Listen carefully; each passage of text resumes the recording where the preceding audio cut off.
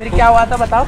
कुछ नहीं ये बकवास कर रही थी उस दिन और पता नहीं। अंकिता ये देखो तुम्हारी dream car oh my god मुझे ये चाहिए मुझे ये चाहिए। रोशन मुझे ये गाड़ी चाहिए मेरी ड्रीम कार है मुझे ये चाहिए तो चाहिए। अच्छा अंकिता ये तुम्हारी ड्रीम कार है तो क्या हो गया? ये तुम्हारा बॉयफ्रेंड है ना ये दिलाएगा तुम्हें? हाँ ये मेरी ड्रीम कार है मुझे अभी चाहिए इसी वक्त चाहिए मुझे दिलाओ। अच्छा अंकिता तुम्हारा ड्रीम कार है। मेरा भी ड्रीम है कि मैं एक प्राइवेट जेट ले सकूँ अपने लिए। लेकिन क्या करूँ पैसे ही नहीं है ना। चलो अभी चलो। अंकिता देख तेरा बॉयफ्रेंड कितनी झूठी झूठी बातें कर रहा है। वो तुझे कार तो दिला नहीं सकता और प्राइवेट जेट की बातें कर रहा है। हाँ यार अंकिता तेरा कैसा बॉयफ्रेंड है? गरीब सा तेरे को ये कार नहीं दिला सकता और बात प्राइवेट जेट की करता है। रोशन तुम अभी के अभी इधर आओ। क्या ये तुम गरीबों जैसी बात कर रहे हो?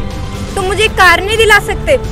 मुझे मुझे नहीं पता मुझे कार चाहिए नहीं तो मैं तुमसे ब्रेकअप कर लूँगी। अभी के अभी बात खत्म। यार तुझे पता तो है मेरी हालत कैसी है। मैं अभी नहीं ले सकता कार क्योंकि तुझे पता है मेरी बहन की भी शादी करनी है फैमिली प्रॉब्लम भी है बहुत सारी अभी। मैं क्या करूँ अभी नहीं ले सकता ना नहीं मतलब। तुम्हारी बहन की शादी है किसी की भी शादी हो मुझे नहीं मतलब। मैंने तुम्हें इसीलिए बॉयफ्रेंड बनाया था कि तुम मेरे खर्चे उठा सको। तुम मुझे ये कार चाहिए तो मतलब अभी के अभी चाहिए। मुझे नहीं पता। यार तुम ऐसे कैसे बात कर सकती हो? जो तुमने ड्रेस पहने ये मैंने ही दिलाया है। और तुम्हारे दोस्त तो एक पैसा भी नहीं लेकर आते यहाँ तक कि मूवी और रेस्टोरेंट का खर्चा मैं ही देता हूँ। तुम्हारे दोस्त तो बस आते हैं खाते हैं चले जाते हैं। फिर भी सारा खर्चा मैं उठाता हूँ फिर भी ऐसी बातें कर रही हो यार तुम। अंकिता तुमने हमारे यहाँ पे बेइज्जती करने के लिए बुलाया कि हम अपना खर्चा खुद नहीं उठा सकते? ओए तेरे कहने का क्या मतलब है? हम गरीब है हैं? अरे भाई जब मैं खर्चा करता हूँ तो मैं ही बोलूँगा ना अब कौन क्या? अपने मूवी का खर्चा नहीं उठा सकते? नहीं भाई मैं ही देता हूँ भाई मैं ही देता हूँ भाई रोशन तुम्हारी हिम्मत कैसे है मेरे दोस्तों को नीचे दिखाने की।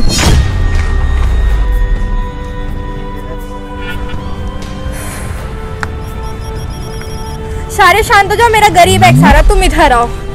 तुम कुछ भी नहीं बोलोगे, मेरे एक्स के सामने अपना मुँह बंद रखोगे। और गरीब, किधर जा रहा है? इधर आ। अच्छा हुआ मैंने तुझे छोड़ दिया, अब बर्तन ही धो रहा होगा तू। मुझे पता है तू लाइफ में कुछ नहीं कर सकता। अभी भी उसी होटल में काम कर रहा है ना तू? हम्म। देख मेरे बंदे को। ये देख उसकी गाड़ी। तेरे जैसे छत्तीसों को खरीद सकता है। तेरे जैसे खानदान को भी खरीद सकता है ये ठीक है ना? अब तू तो अभी भी बर्तन ही धो रहा होगा शायद रेस्टोरेंट में।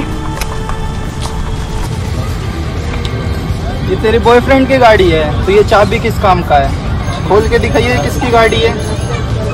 चल साइड हो। ज़िंदगी में कभी भी किसी के पास्ट की वजह से उसको जज मत। चाहे जितना मर्ज़ी खराब हो या बेहुदा हो सबका पास अच्छा नहीं होता। हर इंसान की अपनी अलग स्टोरी होती है, हर इंसान की अपनी अलग जर्नी होती है।